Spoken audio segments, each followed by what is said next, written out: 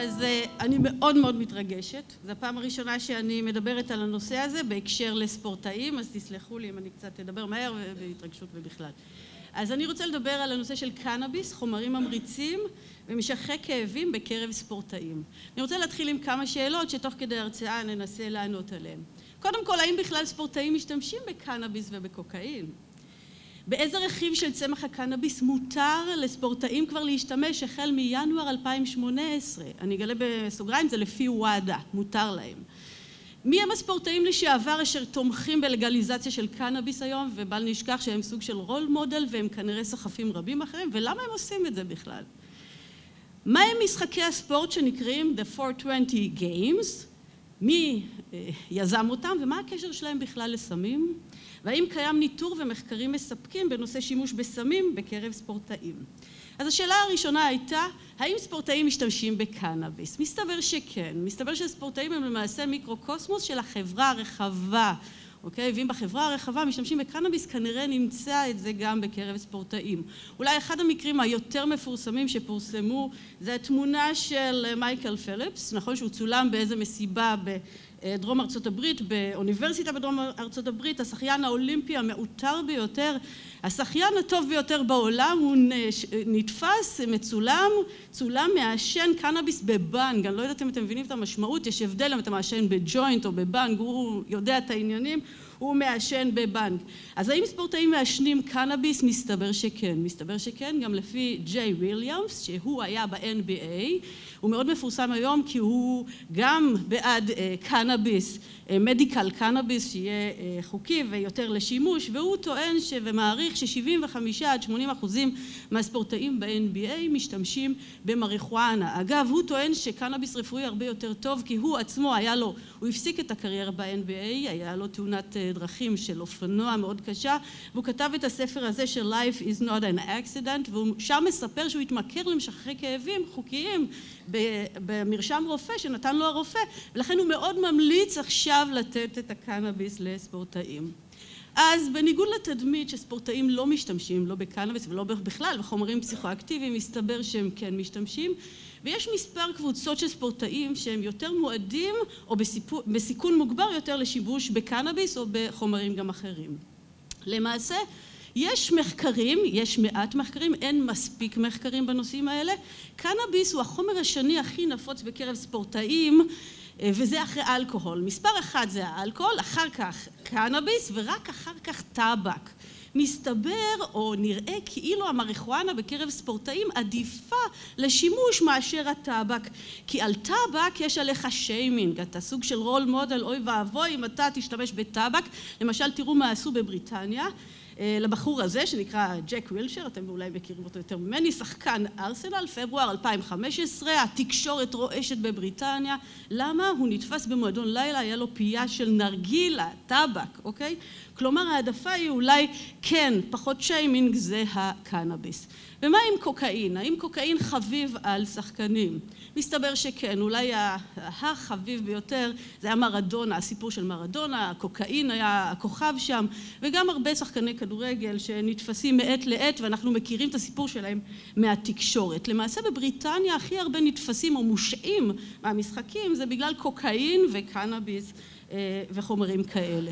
למעשה קוקאין אולי יש כאן מייק סנס שהספורטאים משתמשים כי הוא שייך לחומרים המעוררים, ממריצים, זה אלה שמפעילים לנו את המערכת הסימפתטית, קצב הלב מתגבר, אלה חומרים שאולי נותנים את הבוסט והמרץ כי אתה לא רוצה לישון במגרש, אתה רוצה שיהיה לך את מה שצריך, אז קוקאין נכנס לשם, אמפטמינים, מטה-אמפטמינים, מטילפנידייט זה אותו רטלין שאתה אמרת כאן, אפדרין, אגת, צמח אגת שהוא חוקי בישראל שהוא מכיל את הקטין, גם כן חומרים ממריצים. האם חומרים שהם משככי כאבים הם נפוצים בקרב ספורטאים?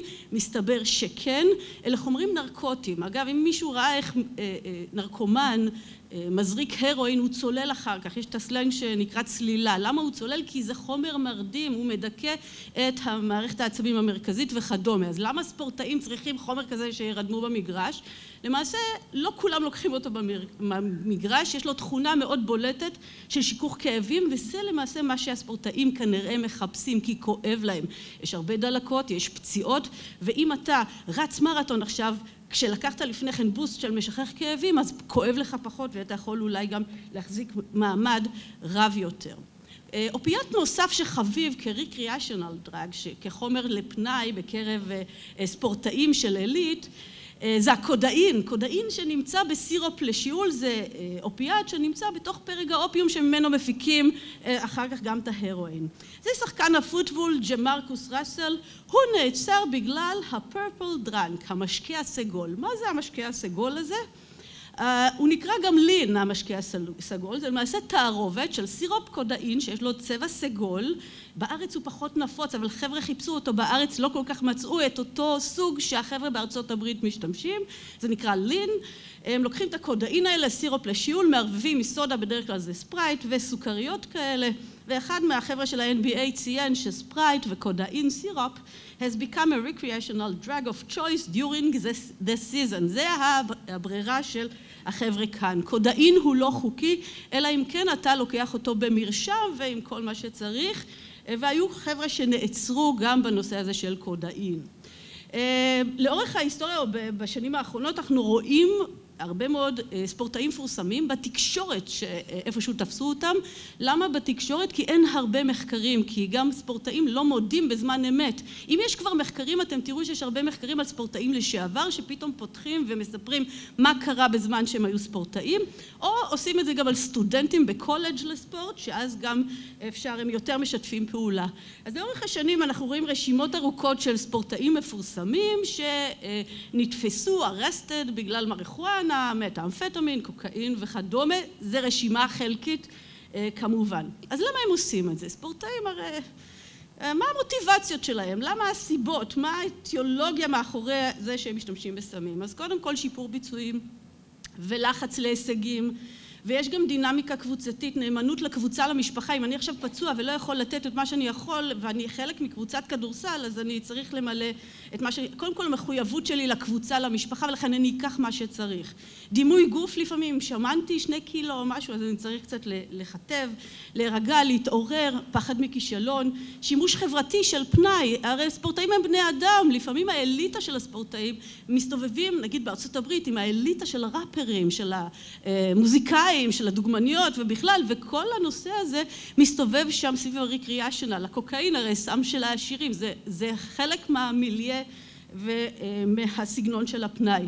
לפעמים זה התמכרות, אלה חומרים שעובדים לנו על מערכת העצבים המרכזית, על מרכז העונג במוח, יש הצפה של דופמין, זה גורם להתמכרות, החומרים האלה לא תמימים, כולם עובדים שם ולכן חלק אולי מכורים וחלק זה סוג של ריפוי עצמי, מה שאנחנו מכנים self medication, להפיג לחצים נפשיים, חרדה למשל.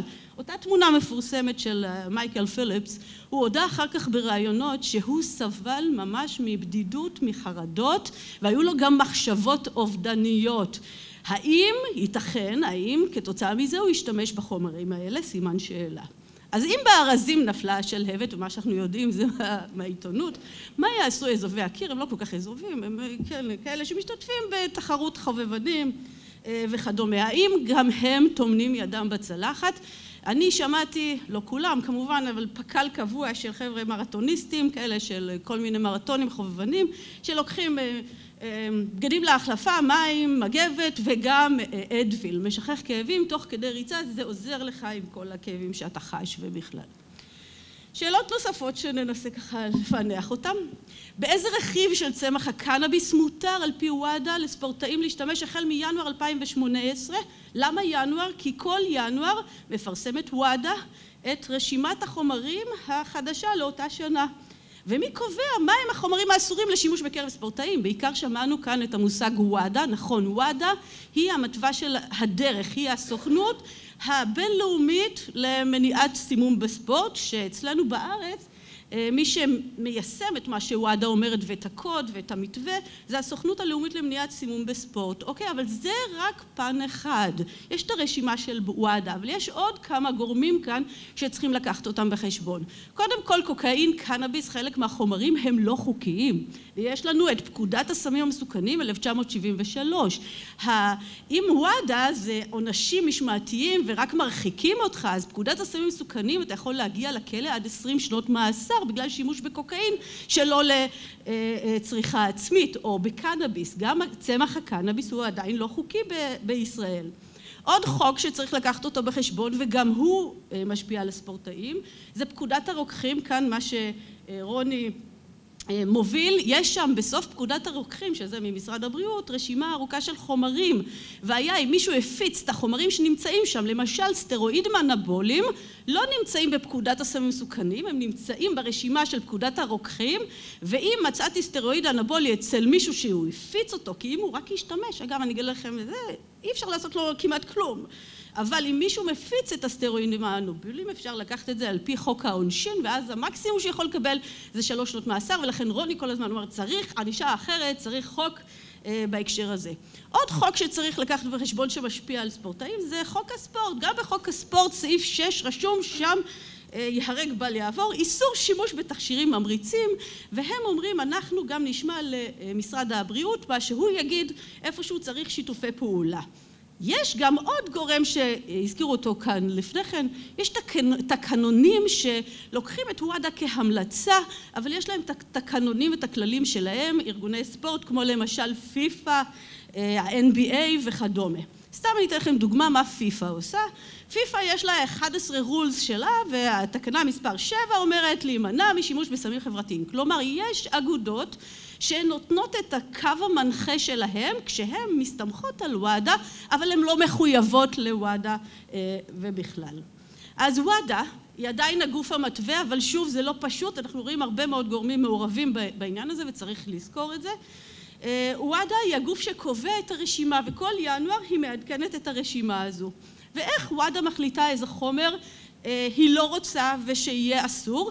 היא לוקחת חומרים שעונים על שניים מתוך שלושה קריטריונים. קוד הקריטריון הראשון החומר צריך לשפר או עשוי לשפר ביצועים, נגיד סטרואידים אנבוליים.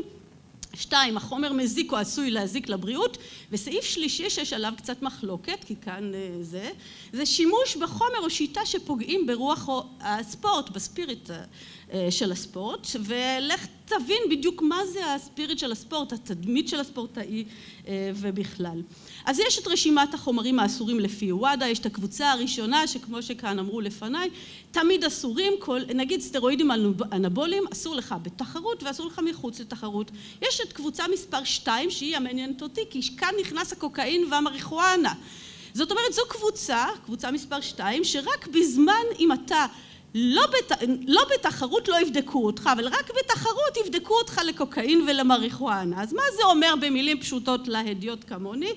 האם מותר לספורטאים להשתמש בקנאביס בקוקאין שלא במסגרת תחרות לפי וואדה? מסתבר שכן כי היא כנראה לא עושה את הבדיקות. נראה שכאילו הגישה כלפי מריחואנה וקוקאין היא מקלה, סבלנית יותר כיוון שנחשב יותר שימוש של פנאי, שימוש חברתי. אולי ניקח דוגמה, אותו חומר שני ספורטאים שונים, האחד עושה את זה שימוש בקנאביס בזמן האולימפיאדה, השני לא ואתם תראו דין שונה לשניהם. ניק דל פולפול מצאו אצלו בבדיקות שתן בזמן משחקים באולימפיאדת לונדון 2012 שרידים של THC, THC זה אותו חומר פעיל פוטנטי גורם להיי בתוך הקנאביס. השעו אותו מהמשחקים האולימפיים, לעומתו מייקל פיליפס שנתפס באותה תמונה מפורסמת שצרח קנאביס, אני מתרגשת, אני נכנס, חייבת סלפים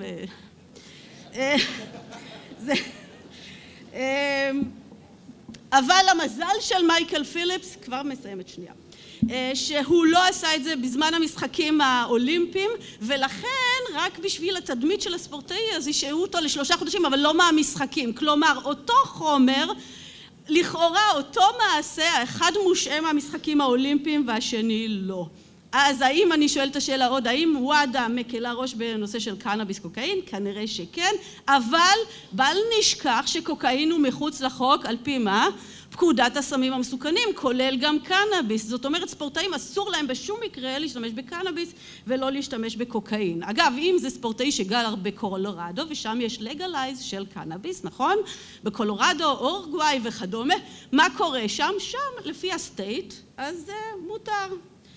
למרות שהאיסור של וואדה לגבי ספורטאים עדיין ממשיכים לצרוך קנאביס. והשאלה הבאה הייתה באיזה רכיב של צמח הקנאביס מותר להשתמש לפי וואדה מינואר 2018.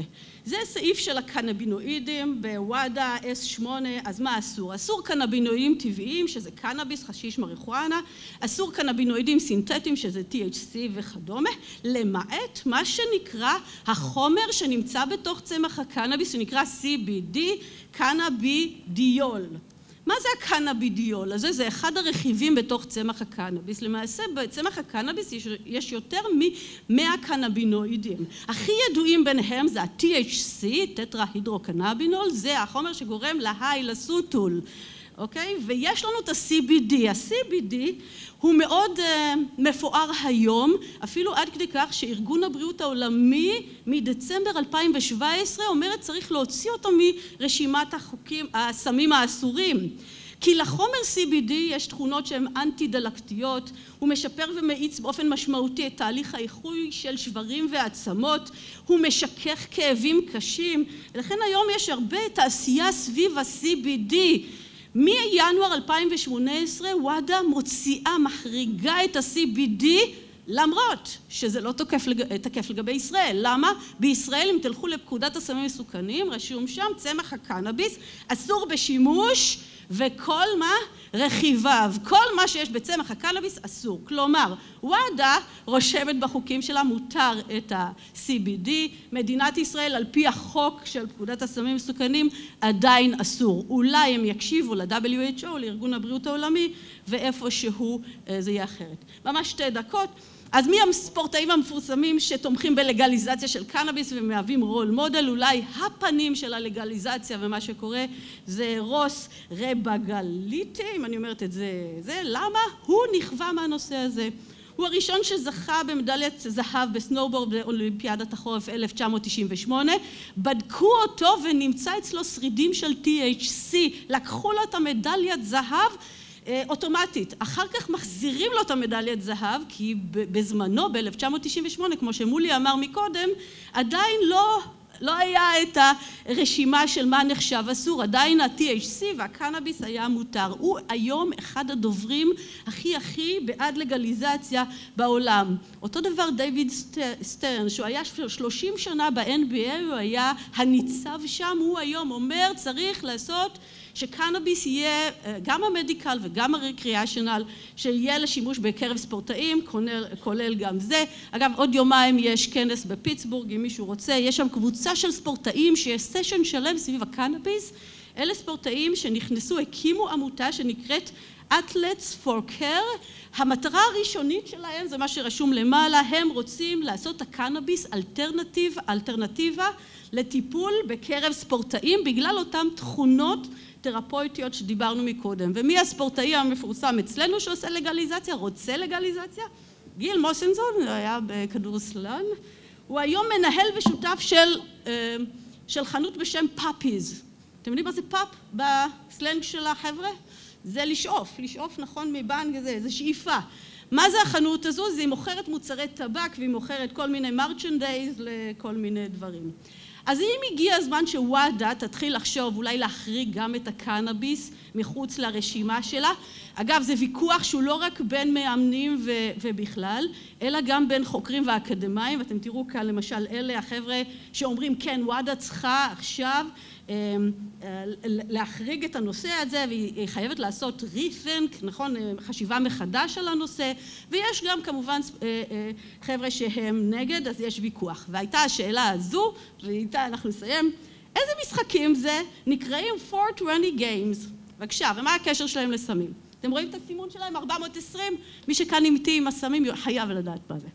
420 זה חימום מתיחות לקראת הריצה של 420 זה חבר'ה שהם צרכני קנאביס שנמאס להם שאומרים שאין להם מוטיבציה ושאין להם אה, בספורט שום דבר והם החליטו לנפץ את הסטיגמה כלפי אה, צרכני אה, קנאביס והם עשו את ה-420 גיימס, המשחקים של 420 והם גם הקימו, המייסד של המשחקים האלה הקים את חדר הכושר הראשון בעולם ידידותי לצרכני קנאביס והאם קיים ניטור מספק מחקרים רבים בנושא שלנו? אז לא, יש הרבה בעייתיות כי יש לנו רק מעט יחסית בדיקות שתן ודם, הסטטיסטיקה הפלילית לוקה בחסר, מחקרי דיווח אמיתי העצמי הם לא בדיוק כמו שצריך וצריך הרבה מחקרים מגוונים אחרים ואני אסיים עם השקף הזה צריך לזכור שכל פעם שיש סמים שהם לא חוקיים באמצע הם משפיעים על הרבה מאוד כיוונים ואנחנו צריכים לזכור את זה, זה לא רק ספורט אז מי שמעורב כאן זה הרבה מאוד שחיתות זה הרבה מאוד תזרימי כספים שצריך לראות לאן הם הולכים הרבה מאוד פשע מאורגן הרי מי מביא את החומרים האלה וגם יש מעורבות של ארגוני טרור. תודה רבה